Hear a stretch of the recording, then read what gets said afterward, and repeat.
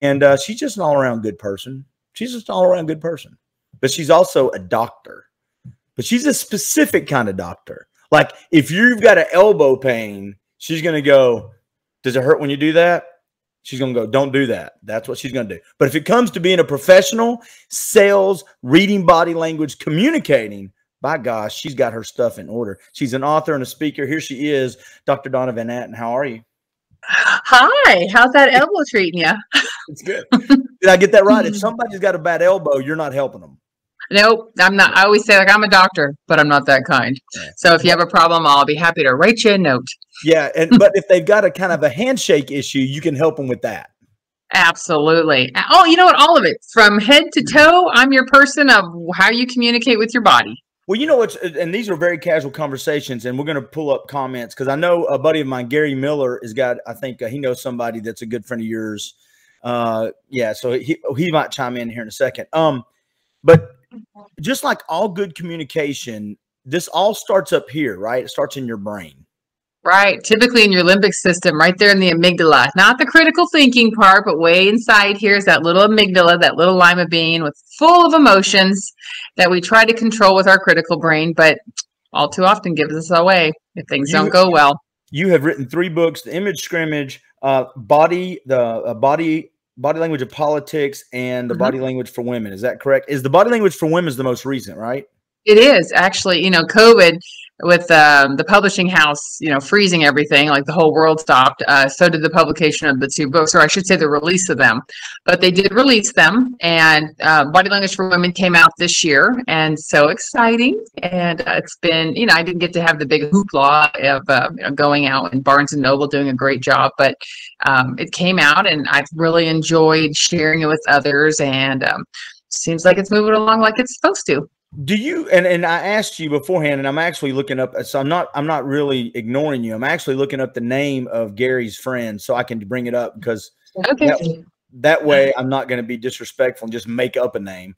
Um, but do you do you do you like the writing process? Do you enjoy that?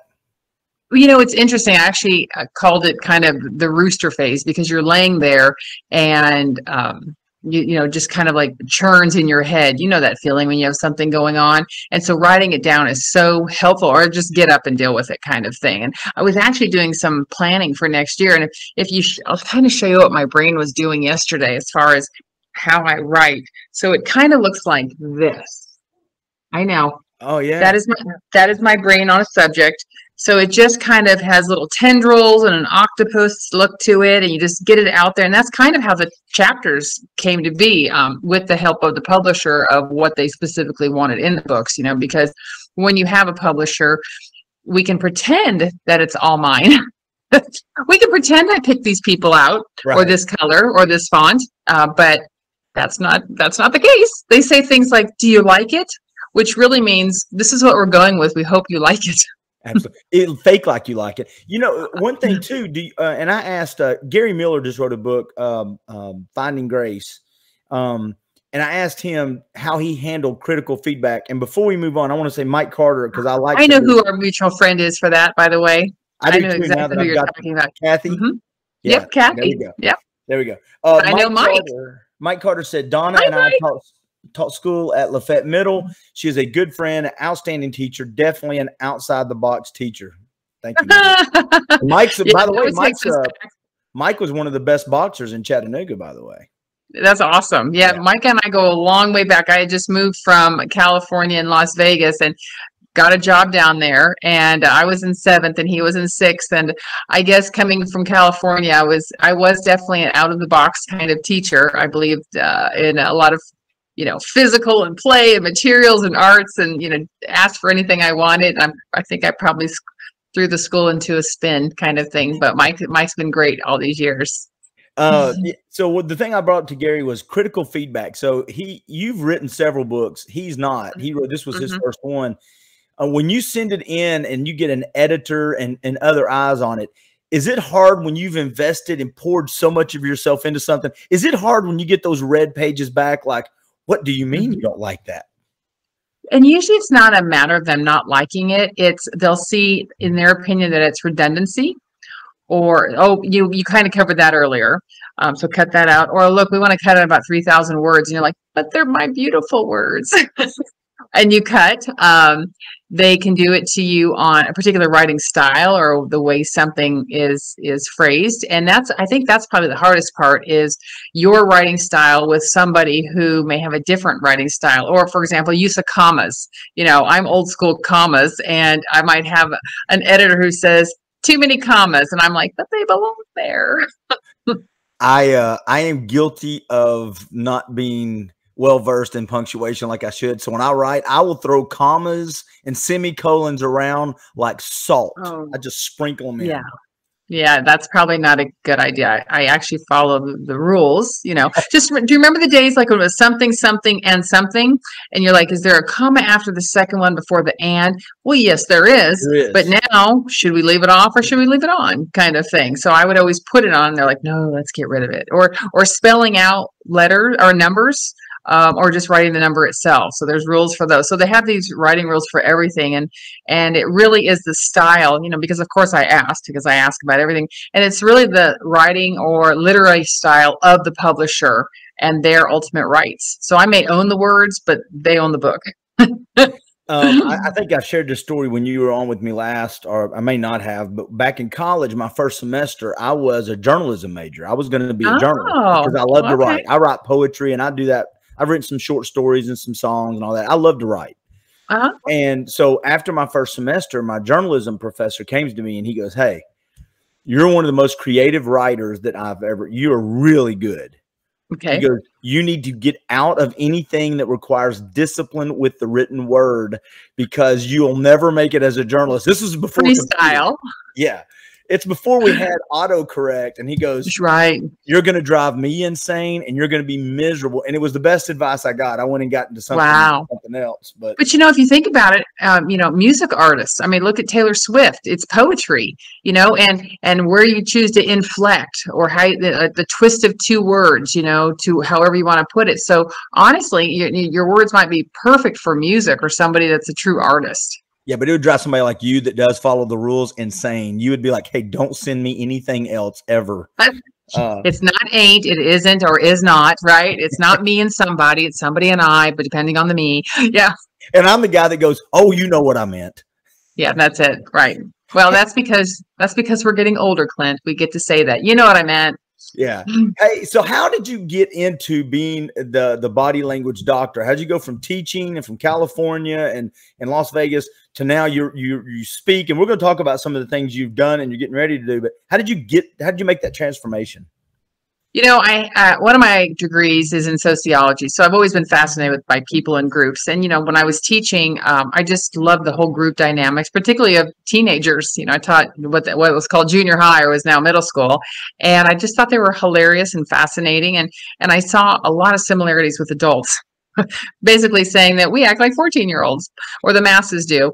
And so, you know, carrying on and then, you know, doing public education formally, I probably wasn't the greatest fit. I challenged the systems too much, you know, worked my way down and out of the Department of Education. And my mom gave me some great advice. She said, um, because I said, you know, should I go back in the classroom? You know, because it's kind of safe and I kept my license. And she, and she said, you know, you can always go back, Donna. So, but she said, you know what? And she kind of, you know, put her hand across and she said, why not let this meaning the world, be your classroom. So I took a very educational approach to it, and I continued my formal education and began speaking. You know, which I had a natural affinity to be able to do. And and you know, if you speak well, you typically can write well because it's just the written or the spoken word and how you deliver it. And you know, I, I did a lot. I did, did, and do a lot of grant writing, what I call my meat and potatoes work, because again, it's just storytelling. You know, telling mm-hmm. a story to to of course win money to to implement a program. And then I, you know, people ask me to speak on stuff, and um, I knew that I, I, quickly picked up that you know like how we communicate and really dove into the dynamics of speaking and tone of voice, and then there was bodies, you know, bodies involved, and and again fascinated with humans and groups, began to dive into that, and you know, and it just kind of rolled along. And then I had a couple of great role models and mentors who just helped me along the way, like most of us have or are fortunate to have. And here's what I ended up doing. And I actually connected with, you know, and I picked up some Inc. articles and, and my, my friend there was great. And the book, actually, the first book came about because I was speaking somewhere and they said, Hey, you know, we're going to set up a table for you to sign your book. And I'm like, book uh great and i said oh my book's not um here you know and i and she's like well when does it come out? And i'm like november. November november's great and uh she's like great and i i got in the car and i'm like yeah so you know but all the stuff for the book is stuff that i had been sharing with other people anyway so it was Yeah. really just putting it down and then looking at what was out there and most of the work in body language is done by males coming out of a private sector or government. And so why not take a more social corporate you know not military approach to it about people dynamics you know what, what my field in it. And then it was picked up by skyhorse publishing for book two and and book three. And here's where i uh, here's where i am. So Yeah, I, i've been a career since 2008 Well, and you said something kind of interesting that most of the books at that time when you were getting into it had been written by men. And I'm sure that I'm, you know, being a guy, I'm sure I would relate to a lot of the advice, but there's so there there are some things that are true across the board for men and women. Like me and you, there's certain things that are just they are what they are, but there are nuances in difference based off who we are oh, individually oh sure that is I think is important. So you filled a you filled a void, a niche there that's that's great. Well, yeah. Well, thanks. And you know, it was fortunate. I had some nice affirmation. So, a man named Joe Navarro is the number one body language expert in the world, actually, a, a retired FBI, and we connected. I actually um, put something from a Warren Warren Buffett article on his post, and he reached out to me and said, "I want to talk to you, Donna." And I'm like, "Uh oh." And you know, we had the nicest Zoom, and he said, "Look, I I looked you up. I've been following you, and I want you to say that you remind me of me." 10 to 15 years ago and anything I can do to help you. And wow, what a push. And so I came back relatively soon and said, Would you mind writing the forward for one of my books? Since you offered. And you know, that kind of affirmation really helps. And you know, word of mouth, it's it, in the sense of you get one job and it leads to another, which leads to another and, and you know, institutes that are statewide or national. And and whether the client is a healthcare or in banking or in education it, it really doesn't matter. It sales you know real estate agents y- you know you know sales very well um, and and you have great mastery of how to present. So there's behaviors and you know uh, constantly reaffirmed in the data of how humans behave and you know mm-hmm. and how we violate that or how we mirror and build rapport. So it doesn't really matter the industry as long as people are involved in it then i'm then i can be involved in it. I if, if somebody says like hey we have a strategic planning meeting and i'm like i have to get my hair done. I know my limitations so it wouldn't be sitting in those kind of things. I think i'll stay home for that one.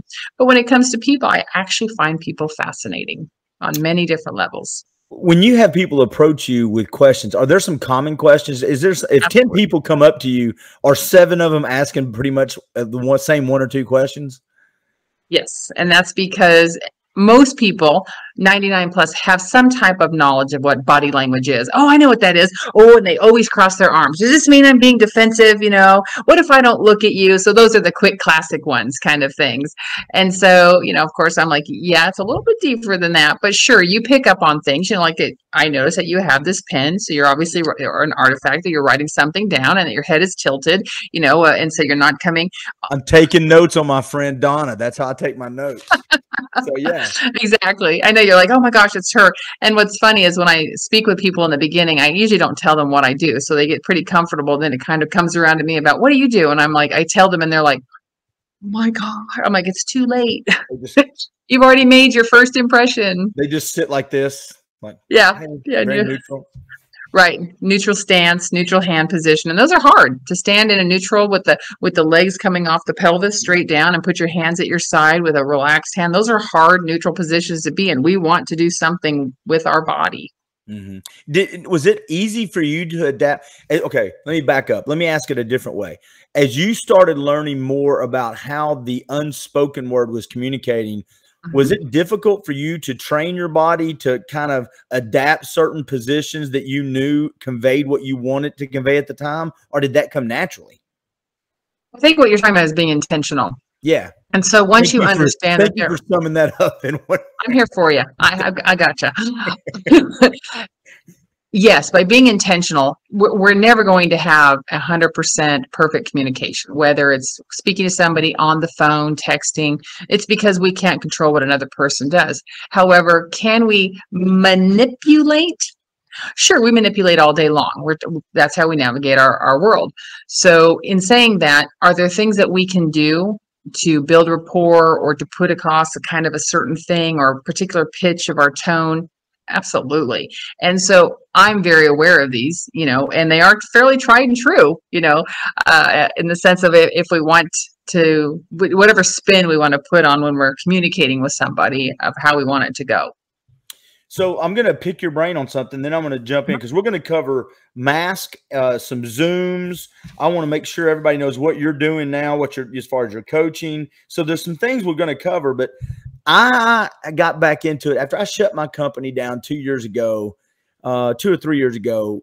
About nine, oh no, I guess about a year ago now. I I started up my coaching again. So I'm helping okay. salespeople, but I've got a couple of females that I'm, I'm helping on the sales side of stuff, processes and things. Mm-hmm. And one of the things that that I was going to ask you about tonight that I'm going to share with them, I'm not taking credit for it, but is how to convey confidence uh, quickly in a sales meeting when you're meeting somebody that you've either been talking to just on the phone or just via Zoom, and now I'm in a in a sales. We're meeting that first introduction, and you're a young female and sure. confidence. You may know what you're doing, but that confidence. Are there certain mm-hmm. things you can teach them or you would tell them to, to focus on and work on? Absolutely. I mean, gender dynamics are real. Whether we want to say, I, I don't notice color, I don't notice age, I don't notice gender. Actually, we notice all of it you know so let's let's be real and so in saying that you know you might have one age population notice that a younger female what would she be talking about? Who does she think she is? She reminds me of my daughter, kind of thing. So the female, and so if she's physically smaller, she needs to be made physically bigger. So is she? What's what's her carriage? You know, what's her what's her gait? You know, is she is, is she extending that? Um, even though old school is that you wait for your handshake from a male, no, uh, a female initiates a handshake. And make sure when that you're doing that that you're standing up. You know if you're already seated and somebody comes in you know a lot of times they'll oh it's nice to meet you and you kind of look up. No stand up. Make that first impression. It's a lasting impression. And eye contact. You know we are an eye contact culture. So when we're not really looking at somebody we're like hmm why, why are you averting your gaze? and so forth. So there's definitely some things that you should do whether male or female to make a great first impression because we do remember those things. I mean if you think about it clint years ago you know you'd hear people say yeah i got the tractor loan gonna put her there put her there man. And you know women are you know kind of known for this fishy, mushy kind of handshake, or I'm not sure what to do. And and so the handshake was so it was the contract, and and by the strength of it, and and you know, men, you'll see them still kind of jostle, you know, a little positioning of who's the power position, oh, and am I going to give I it to you? from you. Not only will we shake hands, but if it's if it's even, then I'm mm-hmm. going to reach up and touch the elbow or the shoulder. Right, right, right. Like it's time for me to take this hand and do something oh, with it. Oh, stroke his head a little bit or something. I'm just kidding. Yeah, yeah.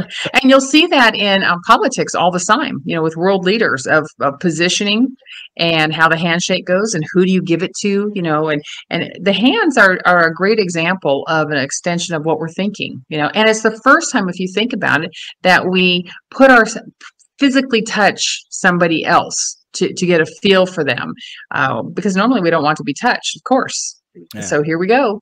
Mm-hmm. I'm going to tell you a quick story uh, about my daughter that will make you proud. She is 17, almost 18. So we were taking college tours and we went mm-hmm. up to Tennessee Tech. okay. So they're giving us this. it's a beautiful campus. It's changed so much since I had friends go up there in the in the 80s. I mean, in the 90s. And um, so anyway, this girl that's giving me and this little group uh, uh, showing us around, she goes, "Now this is exercise science, and this is where you would be taking this class with this professor, we don't know he's a professor. They're playing basketball because it's on the weekend, right? Mm-hmm. So he's walking out and he goes turned around. he goes, "So is this group?" And there's about twenty of us. He goes, "Is this group? Um, are y'all thinking about coming to Tennessee Tech? Is this a tour?" And they go, "Yeah." And he goes, "And you're going to be exercise science?" And the lady goes, "Well, this guy and then this young lady right here." And they go, he goes, "Well, I'm I'm in the middle of something, but I will be your head. I will probably be your advisor and one of your lead professors."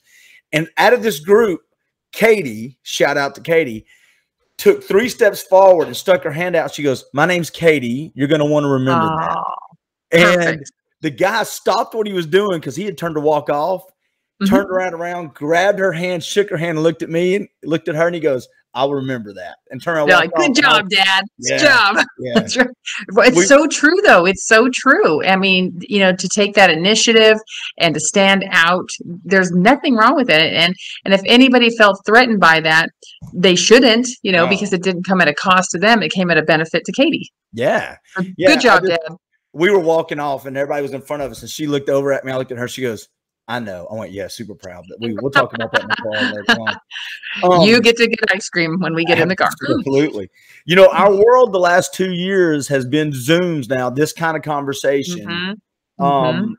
I'm sure it was a learning, even though you're a communication expert, it's still a learning curve for you. You're always learning too. Sure. So I'm going to talk about the Zoom etiquette here, and you can give us some tips. But I think you said something before we came live I thought was pretty fascinating. You were on a video, I guess it was a Zoom call with mm-hmm. uh, the Daily, is it the Daily Mail? The Daily Mail. Oh, Daily Mail UK, right. Yeah. They love to cover the Royals. Yeah. Well, so you, you said, though, they said they want to go on early and talk about your mm-hmm. positioning Yes. Oh, so yeah, exactly. So it comes to where our eyes are on the screen. You know, we don't want to be too high, we don't want to be too low, looking up, looking down. And so they do pre-calls, you know, like most news shows do, to ensure that your eyes are looking right at the camera. So when I'm looking at you, it looks like I'm actually looking at you and nothing else versus, you know, I'm paying attention to the chat down in the corner kind of thing. Yeah. Because we're very sensitive about where our eyes go, which you're absolutely right, Clint. The whole pandemic has messed up everything because we're a social creature. We want to be with other people. And so this pandemic has really has us at our human core. And you know, when you take away the body, you know, that 100%, that 55% or half of how we communicate goes somewhere else between our words and our tone. And we wonder why we're hypersensitive.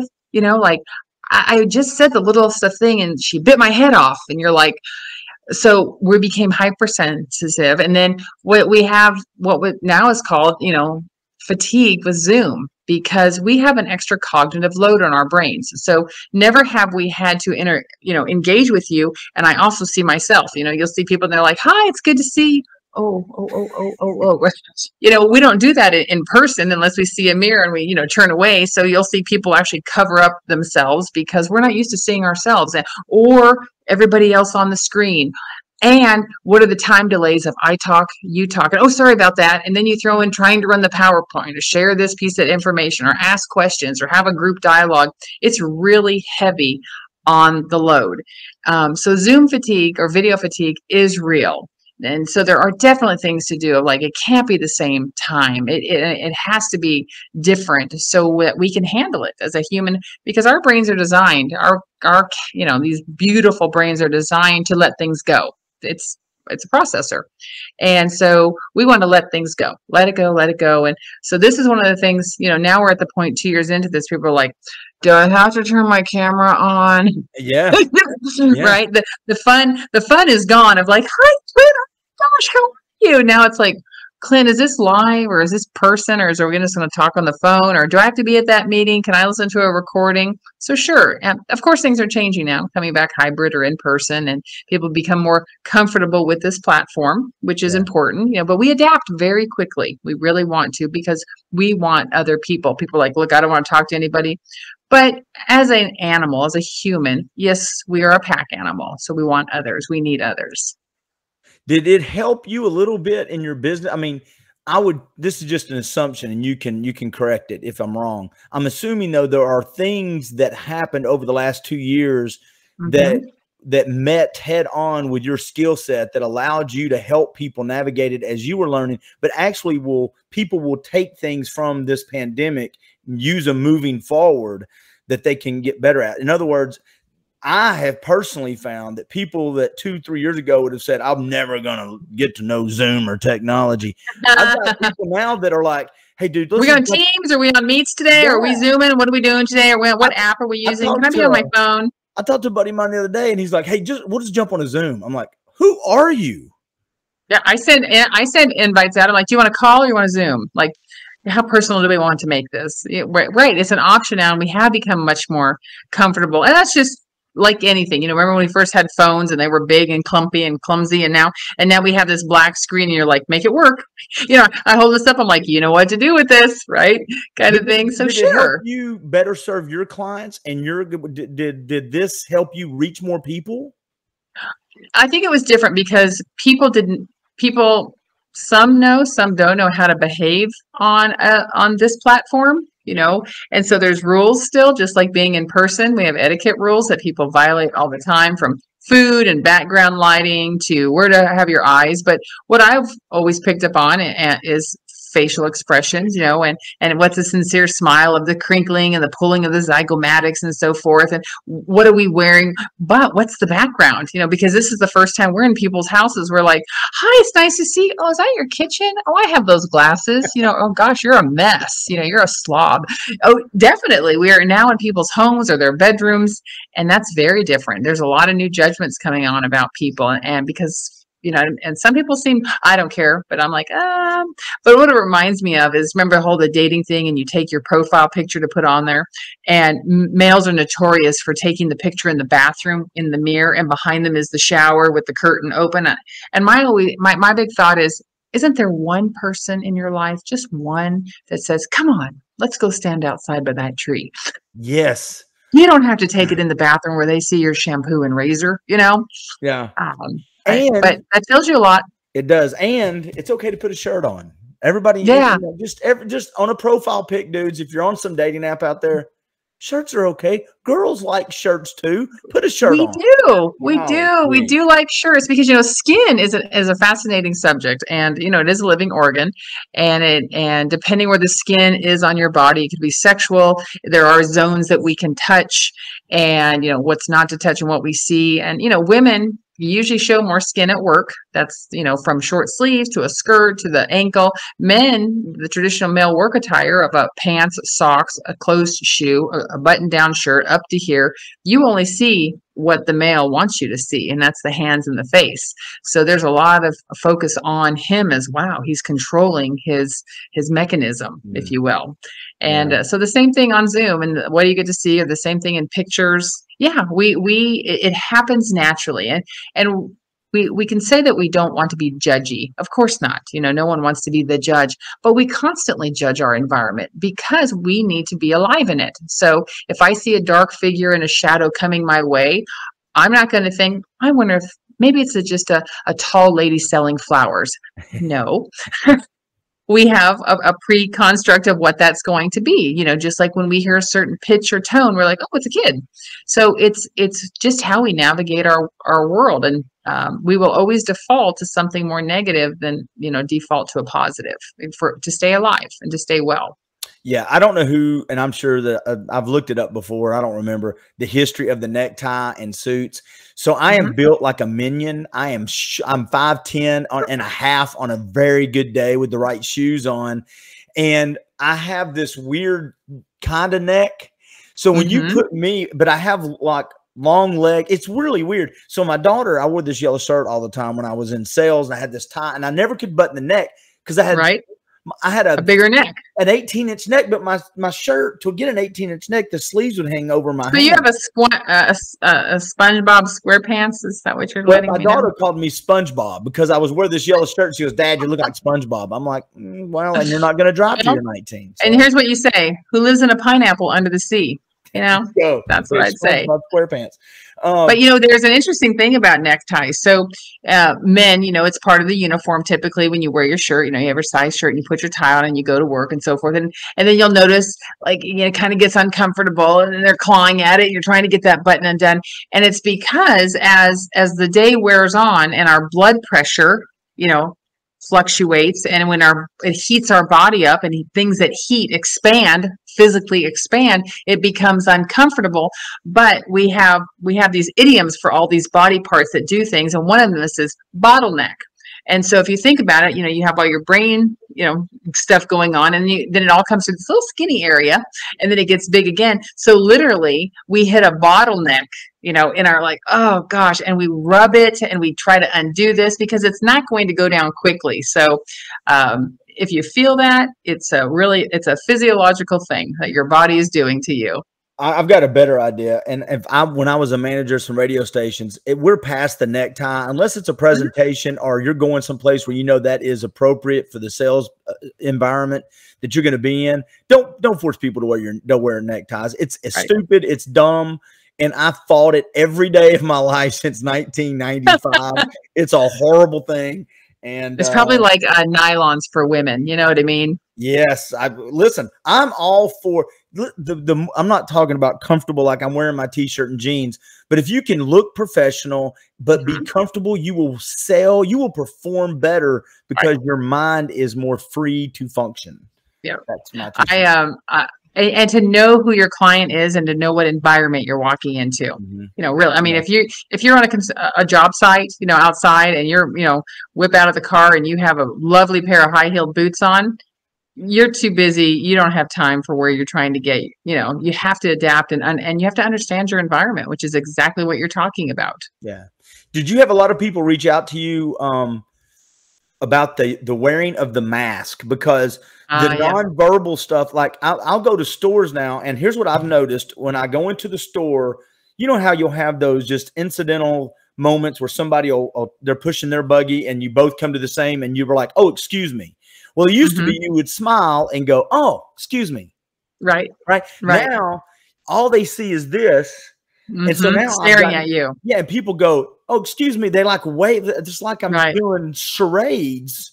Right. Or, or, I, I think one of the things we do now is when we lock eyes, we uh, do the little, like, I see you. You know, I see part of you, but yeah. and you on and you automatically get that back. And it means I see you and you see me without the kind of, but you know, the, the smile, you know, Clint is, it happens here, but honestly, it happens up in here, you know, at the, mm-hmm. at the zygomatic, right? Your crow's feet, if you will. So when somebody is smiling, you know, you're looking for all this to be, and even the line underneath the eye here, mm-hmm. that's an authentic, you know, we, we hate it. And, and that's why when people have Botox and so forth, we're like, I can't put a good read on your face. Well, that makes sense, you know, because it's frozen where it shouldn't be. And and you know, we see surprise and the eyebrows go up, you know, and and we see when, you know, the eyebrows drop when you're kind of squinting or, or you're trying to question. And you know, if you're trying to hear somebody, it's natural that we we become offset to bring the ear forward, you know, in the sense of what? Mm-hmm.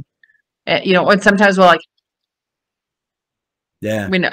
So we have wonderful nonverbals that we really aren't dependent on our voice when we have so many other, you know, the tone, mm-hmm, mm-hmm. Um, or and and like for example, one of the tones, pitch. Pitch is the part of our tone of voice that enables us to recognize somebody in a crowd. So when you hear Katie, you know, in a crowded area, it's Katie's pitch, her natural pitch. You're like, oh, that's my kid, kind of thing. So we know that's how we identify. It's not necessarily what they say. And then she might be going, Dad. But if she had gone like, like, you know, where, where's the, uh, where's the plunger? And you're like, oh, that's my kid. Yeah. kind of right. So yeah, so we have all these other things to help us out, but absolutely masks have made it so much more difficult. But you know, immediately we adapted, right? People mm-hmm. went to cloth, to color. They went to try to get the fit because it's not natural. You know, they fidget with it and so forth. You'll see people, you know, wear it here or adjust and they're they're constantly because for the most part, we don't touch our faces. We typically only touch our faces if we have a change in behavior. So we're irritated that this mask thing is going on. Or, you know, the Pinocchio effect of, of not telling the truth is little catecholamines, you know, little irritants. And you have this thing going on. You're like, hmm, what else is going on here kind of thing. I didn't know and that. Like, real quick, slow down there, Miss. I got all this information in my brain. There's the there's the real Pinocchio effect. Oh, sure. Yeah. That we have these little so typically, you know, you'll see people put their hands. I mean, for example, Bill Clinton during his um, lying phase of his Yeah. relationship, whenever you saw him on TV, he, his something was always here. You know, it was basically hooked around. You know, Wow. Definitely. Or you'll see a lot. You know, um, the uh, politician Weiner. You know, remember the Yeah, whole things Anthony he was doing? Yeah, he's got tons of you know this kind of look going on photos, and it's it's there's little chemical irritants that you know your body gives you away. That is well, by golly, now I, when I'm asking some questions, I'm going to be going. "How I know. Well, and that brings me to a good point. So you never want to look at anything in in a single. You know, you want to look for clusters, at least clusters of three. So if if something triggers a change in you, and it's fast, usually, you know, it could be a micro expression, it could be a, a shift of the body. Don't you know? D- one of these does not warrant liar. You're- We're trying right. prevent a, a bunch of fights. Now you touched your nose. You lied to me right where were you? Um oh you lied right and so you want to look for what else the body is doing because the body is really what leaks when things aren't you know we can master the word we can master the eye contact you know and if you're looking or staring or looking away it's not the the telltale of telling the truth or lying but the body you know it's hard to control all of that on your brain or that cognitive load so the body tends to you know the you know the body you know tells the truth Hey, and if it comes to you, oh, I'm sorry. no, go ahead. I was just gonna if I was gonna say if if it's the the words or the body and they don't align, we will believe the body. is that a subconscious thing too, right? I mean, we just lock that back in our brain, like, yeah, they're not, they're full of crap. They're not telling me the truth. Right. Like when Yeah. somebody's smiling, you're like, you so hate me. you are not happy I'm here at all, are you? You know what's really, uh, and then I'll read, let me read this quick thing for Gary. He posted a minute ago, but he said, although I've never met her, uh, your guest has an excellent professional reputation as inspiring and fun corporate trainer, speaker, and author. Thank you, Gary. And we're going to get into that in just a Thanks, second Gary. before we wrap it up. um, but and I, I know I've shared this on on a number of podcasts. When you talked about tone a little bit, I was recording commercials in the mid '90s when I was uh, at Talk Radio and KZ 106, and I was a sales guy. But they every now and then needed extra voices on commercials, Mhm. and they needed somebody that so they would call, "Hey, Clint, come here. I need you to voice this." You know, Sure, no, I sure. like blue. Chevy. Absolutely. you know. And so uh, I was in there with somebody, and I can't remember who it was. I think it actually might have been with Dale Deason at some point in time. But anyway, they had me read this line two or three times, and it was three or four sentences. And then he said, "Hey, do me a favor, smile, even when you don't feel it. Just smile while you're reading." I Right. was like, he goes, "Fake a smile. I don't care. Just smile." So I smiled and I said, "Well, I like the blue Chevy," you know. And so right. he Right. let me listen to the four or five I recorded. Mhm. And he said, see if you can pick out the one you smiled. He mixed them up. And I picked it out. And he goes, Yeah. Man, there's just something about it. You can tell most Yes. of the time. So I give advice to clients now if they're on the phone with a hard conversation, Mhm. Mhm. breathing and smiling actually will come through in the on the other side. Right, right. And along with uh, planted feet, planted mind. So if you have a topic that you really want to cover, don't wrap your feet around your chair, cross them over. Planted feet, planted mind. So it goes through your entire body. Are you a stand-up person when you have a conversation? If, if it's a phone and you need to, is I'm a stand-up guy. I, e- either is okay Oh, for me, okay. depending how I want it to go. Honestly, just depending who's on the other side there, and um, you know, but but I think some of it here is to understand who you are. You know, no one is saying that you have to be a certain way. You know, people want their their freedom to express, but there are rules. You violate the rules. They're not written down. Some are written down. You know, but there's a huge list of, of rules and um, you're you're best to learn them if you will and that's fortunately that's what i get to do is i get to help people be intentional. Um, you know you could be moving up the ladder you know the corporate ladder or going from manager to director or you want to advance your career or something with a relationship or you know from friends. Like i the the book is you know there's chapters on girlfriend relationships romantic relationships childhood relationships that got us here. And even though it says like body language for women let's face it it's Yeah. body language for people but we just know that there's differences and and the studies um, affirm this actually you know I, I don't do the research i'm not i choose not to be a principal investigator but i read the current research and then i share it with the public. You know, who wants to sit and read uh, peer reviewed journals? Buddy. but if I tell you, like, look, 500 people, and here's what they did to them, and this is what they did 80% of the time, wow, you know, that's good to know. Do you like speaking? I mean, if you if somebody told you you can make a living speaking or writing books, would it be speaking? Okay, yeah. there is no there is no um, author in me that says one day I'll write a book. The book came out of need or necessity. You know, it went along with the speaking, and so if I could speak full time, uh, travel, continue to travel. You know, I have um, I, you know fortunately, I'll be in Florida, and then I was asked to speak in Thailand, right, at a women's conference in the spring. How, real quick, um, how did they find you? How do you? How did you get found for Thailand? Well, you know, sometimes if you target women's topics and so forth, it comes up and they do call for speakers or present a paper uh, or something, you know, whatever yeah. your niche market is. And and body language is kind of a niche uh, topic. You know, some people speak on things that are pretty common, and but body language again applies to all industries and or communication in general because it everybody needs it. You know, whether you're in your 20s, your teens, a kid, you're in your 50s um, there's always a need to improve that for all for all of us. And so my intention truly and i've known this early on clinton i've even said this before is to teach somebody something. You know i don't know what it is. I don't know who will you know my number will be up because i check that box but my intent is always to help. So you know i would say 99% of the time it goes off really well but there's 1% that never quite appreciate my feedback uh, you're a teacher at heart. I mean, you brought that with you. You know, that's your originally teacher. have you? And I think I that have, really helped a lot. uh, excuse me. I'm sorry. I was got something in my throat. I uh, you have something in your throat. Are you are you being honest with me? Is you have a little tickle there? something in my throat. I'm just saying it's. I'm really.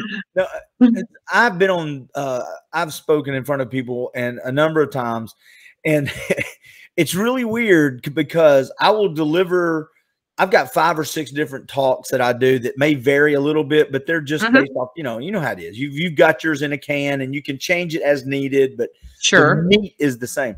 But there's been times I've done stuff that I've said something, and one crowd will be like, they'll I'll get the giggles that I need. Yeah. You know, and I, okay, I'm on track. They're following. Yeah. Then there's other times when I go, and then I said, No, you're not a coconut, you know, and they'll go, right. What the hell's a coconut? And you're like, Oh, uh, yeah, I need to recover pretty quickly here. Yeah. And just, those moments are horrible, man. Those are just terrible moments. Right. When you, well, uh, it's your guaranteed applause getter, right? And then yeah. you're like, nobody's, nobody's clapping. you know, I did something in Nashville. This was probably four years ago, and it wasn't a big group. It was like 30 or 40 little bit uh, small business owners. And I mm-hmm. tried it. And now I do it if I, of course, I haven't done it in a couple years because of COVID. Um, but I've got this little thing that I talk about is as a sales rep, especially, it's good in all relationships, I think. It's the power of silence. Mm-hmm. And so I told we I would be up in front of them and I said, listen, silence is very heavy and you can use it as a tool if you know when right. and how to use it. And I said, for instance, and this is my mistake. The first time I made it, I, I made this mistake. Now, when I'm on stage or I'm in front of people, I will go 10 seconds. That's eternity when you're in it front. Is. I went 30 seconds the first time I tried wow. it. By the end of it, yeah. I was so uncomfortable. I was like, yeah, like sweat's beating up here, it's running down your back. You're like, how do I get out of this? I was right? 15 seconds into it going, this is the, what am I? And I had my timer because I said, I'm going to sit 30 seconds anyway. I just, uh, I miss doing that stuff though. I miss, yeah, do you ever my miss favorite when you don't get to do it? Do you miss it? Oh, I miss it all the time. I really do. I and I'm I I like you is the bigger the audience, the more enjoyable it is, right? The bigger the platform, you know, the, the and I think I really see it as an honor that um, somebody wants to come and listen to what I have to say. Wow, that's really humbling, you know, mm-hmm. um, because I love to share the knowledge that I have, and that's probably why you and I get along so well as we can go back and forth and we kind of understand this and it's just enjoyable because and, I, and I've even heard that before of like your approach Don is a little bit different. I said, well, you know, I was with uh, 14 year olds for a long time and I understand pedagogy and adult learning theory and things like that and, and how humans want to learn, you know, basically. And, and it should be fun and it should be interactive. And let's face it, body language is extremely interactive. Well, and you, you kind of, I didn't know you did this. I know, I, I, guess I think I did know, but I didn't know it was as big a part of your, uh, your resume is the coaching side of it, the corporate coaching and mm-hmm. the, the, the people, the process that, and has that been something you've done for years and years and years? And it I no, I'm, I apologize. It is. I um, I don't know how long ago I became Gallup certified as a, as a strength based coach. You know, because let's face it, it, you know, we all know our weaknesses. If not, just have your exes line up; they'll point them out for you for free. but do we capitalize on our innateness, our strengths that we have? And, and they may not, they might just be a raw talent. You know, you and I may, you know, start out playing the piano together, but in 10 years, you may be okay and I still can't play because it's not our innateness or, or when uh, a kid is pushed in a direction that's really not. But if you just, if you sit back and you listen to your innateness or, and, and really some of the Gallup tools help you identify these and then being intentional about developing them, which is which is fantastic because you know the the psychology behind it is I can manage my challenges better if I know, if I have the toolbox and the strengths to do that. So, uh, for example, I'm not ever going to be great at strategic planning. I'm aware of this. However, my ability to com- communicate and offer a lot of questions through input can help that process along. Mm. So, um, you know, just like there's things that you can do to demonstrate confidence. It's the same kind of thing of there's there's things that just work. So is it a is it a when your coaching approach is it uh, for professionals? Is it uh-huh. life coaching? What, what platform is it, or is it yes to all? Yes to all. Now, I would not. You know, there are certain things. For example, you know, I am not an MD, right? And I am not a licensed practitioner. So, but you know, when you hear things, I say things like, you might want to you might want to investigate that or dive deeper or or perhaps get a nutritionist licensed nutri or speak with a licensed clinical social worker or professional counselor kind of thing. So i understand where my scope ends but for a lot of this it is life it's career it's relational. Mm-hmm. You know it's me as a, a, a, a an adult female speaking to maybe another adult female about life experiences or we're in this together kind of thing. So sure as long as as long as we know where to stop and where our scope is, um, which you know a a a good coach should know yeah. when they when they're at the fringe of what they can do, then a lot of times people just want a sounding board, and I want to help them walk through it on you know on their path. I can't tell them when to get off get on the path or when it when it ends from a to b. They might want to exit it you know the second exit and they're good for now you know but they i help them figure that out I had a conversation in uh, during the onboarding process. This was probably four or five months ago with somebody, and they go, "I just really want somebody to tell me what I need to do." And I said, "That's not how this works." I said, "You already most answers that you're going to come mm-hmm. to, you already know. It's just going to be you're going. to I'm going to let you say it out loud, and then I'm going to you're going to go." Oh, that sounds stupid. Mm-hmm. I'm like, yeah, so don't do that one. you know, or you're going to go, right. that sounds brilliant. I'm going to go, yeah, then let's do that one. But but it's funny. They said I just want somebody to tell me the, tell me the right decision, and I'm like, mm-hmm. well, heck, me too. Right, and you know, but the thing is, is if somebody tells you to do it, um, there's this thing in us, you know, our conscious, our id, our ego, mm-hmm. um, that that sits with us, you know, our soul, uh, the thing that is in our ear at night, if you will. And so you have to get to a place, and and a good coach helps you make sense of this in your ear, you know, mm. or um, you know, I, I, I have a you know certificate in nutritional psychology, which is basically what's going on in my brain. How do I feed my brain? You know, literally feed my brain with food, and then emotionally feed my brain. You know, mm. my brain is tied to my body through a vagus nerve, and so this wonderful infrastructure in our head, this computer, if you will, can help us figure out a lot of things. But and sometimes we just need to have somebody say, you know, no, no, yes, yes, there you go. Do you have a do you have a morning routine or routines? Are you a routine person? I mean, is are you a habit driven driven person? You know, I, I one thing I want to always make sure is that my sleep is respected because I understand what happens when we go to sleep, and it takes about six hours for this GSL glymphatic cleaning process to get rid of the plaque in our brain. And if we don't, that it will turn to Alzheimer's. So I, I always think that you, you should have master your sleep. And, you know, there's, there's this rule of old thinking that said, you know, um, crazy people can't sleep kind of thing. But, you know, the, the new way is turn that around about a sleep disorder makes you kind of crazy kind of Mhm. thing because we must sleep or we like food we must do it and and we need time so um i i actually when i fall asleep seven hours later i wake up and i am just like this I, I, you have you found you get up earlier now as you get because as I've gotten A older, little I get up bit, yeah. Yeah. and I never really slept in late, but and I don't need caffeine. I'm just naturally this. Um, so I, everything is decaf. I know And I'm watching you. She's not touching her nose. She's telling the truth. That guy. I am. I am. I, I don't. I don't put caffeine in my body. Um, I just don't need it, and because I have done that before, and I I need to put myself in timeout. oh wow. Okay. Yeah. So Yeah. I don't need caffeine, and I and I listen to my body. So if it's three o'clock in the afternoon and my body is tired, um, fortunately in my career, I can usually go rest it, you know, kind of thing, and that's Mhm. nice. But um, you know, my routine, I like to. I'm a mover. I'm a doer. I'm a checklist achiever kind of thing. So I like to be busy. Um, but at the same time, I will put trash TV on and be useless. Are you? Do you? So, binge you know- watch? What are you binge watching right now? Um, I'm actually watching Succession right now. Hmm. It's really good. I'm, It's, uh, I think it's on. I think it's on Hulu. Um, but I, you know, I like all of. I've done most of the ones that have been on Hulu and so forth. Uh, and some HBO. What about you? What do you like to I'm, a, watch? I'm a Peaky Blinders, The Last Right. Kingdom. Uh, I love Yellowstone. I'm a, I okay. Love Yellowstone. I'm a Blacklist. I the my, one of my Yeah. favorite shows, and I'm very conservative. I'm well, I'm not very conservative. I am conservative, so I'm definitely on the right side of the of, of the line. But one of my favorite shows ever that I got frustrated they took off of Netflix is West Wing, and Mm, love. I've watched West Wing all the way through probably seven times. Wow. Wow. West. The acting is so good in that show. Yes, and you know a lot of them are. Yeah. And, um, have you ever heard of a show called Sense Eight?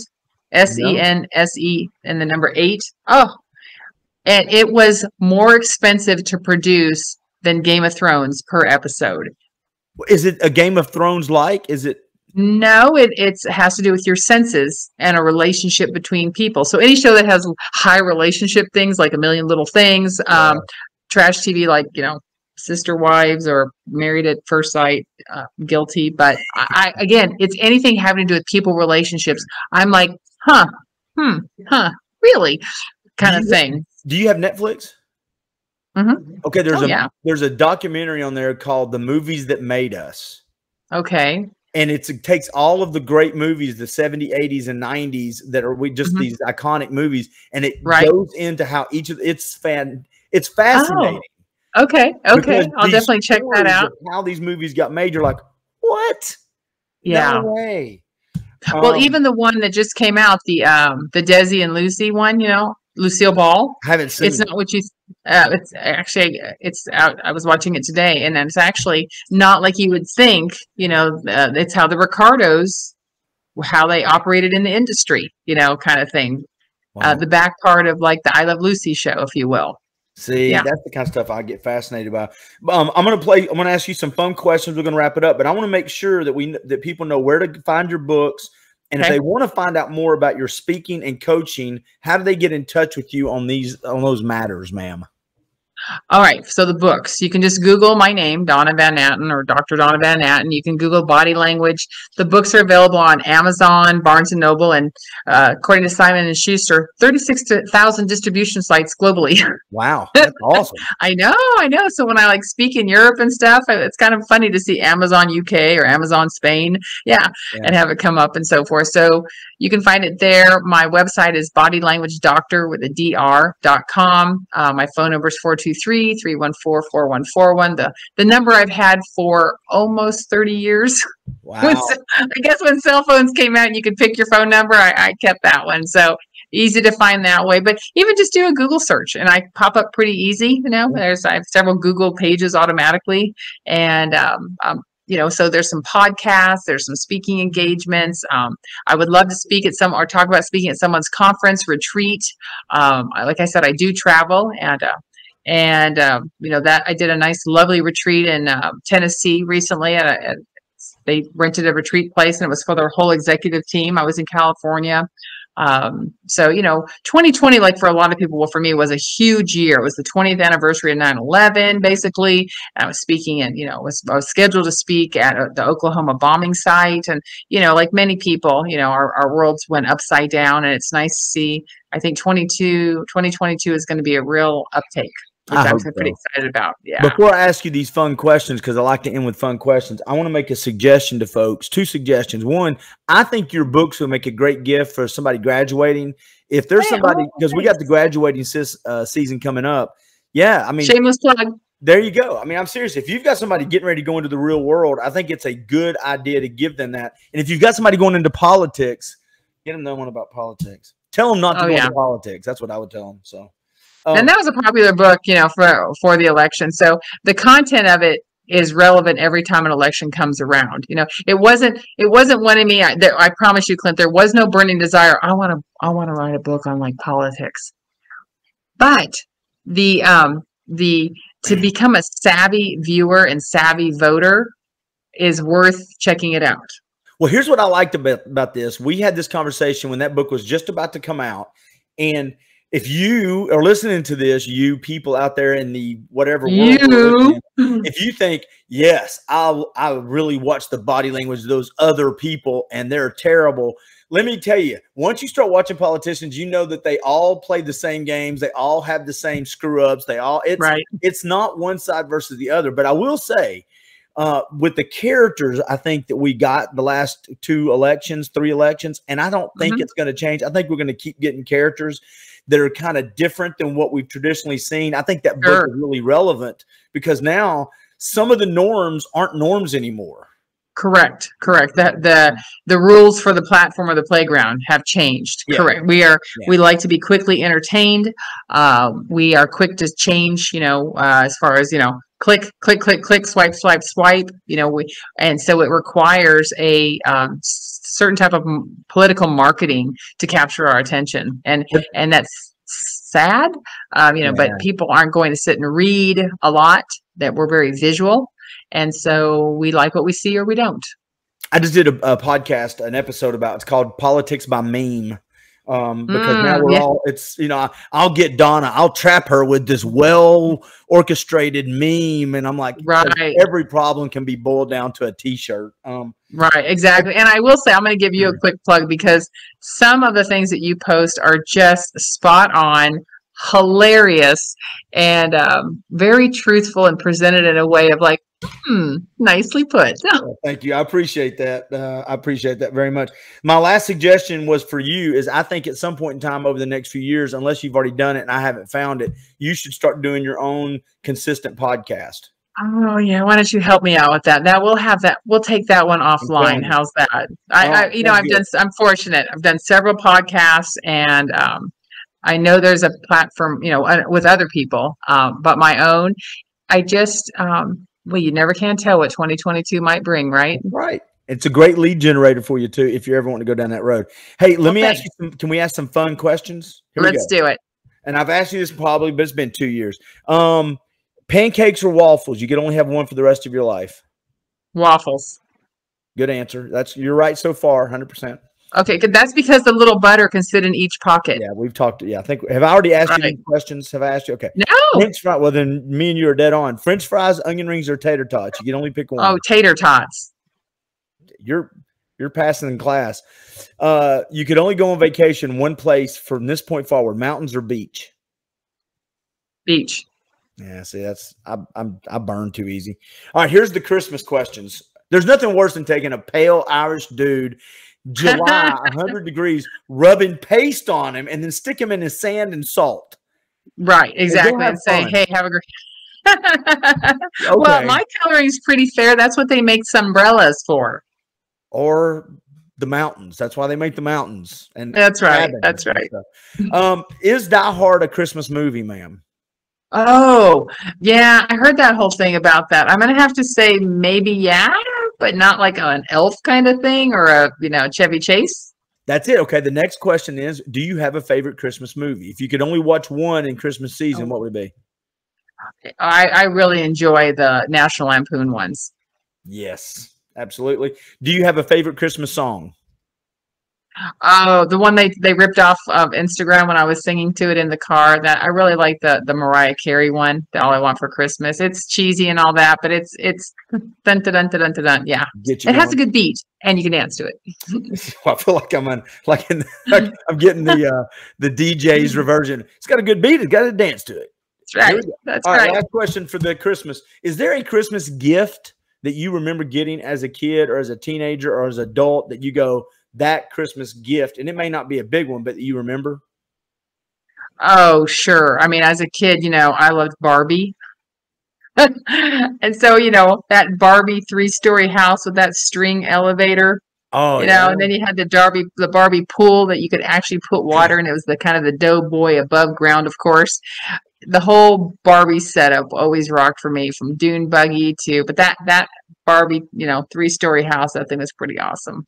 Yeah, the two I actually asked this today and I didn't mention it, but the two that because this is I love this kind of these memories this time of year. The Evel Knievel motorcycle that I would rev yes, up, of course, you're revved up. Yep. and Mhm. then the Bionic Man Steve Austin where you could look through his eye though, and it had Yeah, the yeah. and so Absolutely. You Yeah. look in the back of his head. That's right. And it went right through like a little telescope. here's the good thing about this, and we're wrapping it up. This is it. This is the last thing. This time of year, as I get older, it's easy to kind of go, well, I don't have my kids around as much. But there are millions of young kids that this Mhm. weekend are going to make those kind of memories, and that makes me happy. Oh, that's great. And you know what? I, I feel the same way because now my kids, like my kids are older than your kids and so forth. But so it does take on a different meaning. But one of the things I've really liked about getting older is I find little people really hilarious. Now their parents don't, and I didn't when I was at that but I find them absolutely entertaining in the sense of how they eat the candy. My thought is you're going to lose the teeth anyway.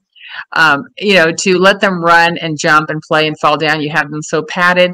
But I've noticed that a lot of those parents don't share the same humor Yeah.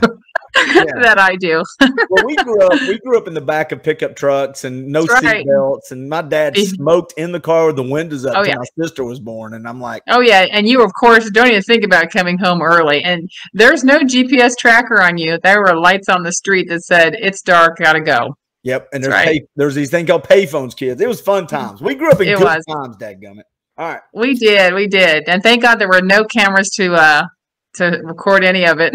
Yeah, I didn't do anything wrong. I didn't do anything that was me neither. Me neither. Dr. Donna Van Natten, as always, it is a lot of fun catching up with you. I love what you do, and I hope people go buy your books. And if you need a coach or you're needing a speaker, then I hope they reach out to you as well. Thank you so much. I hope so too. Thanks, Clint. Pleasure. Happy holidays. Be safe out there, Merry okay? Christmas, everybody. Thank you.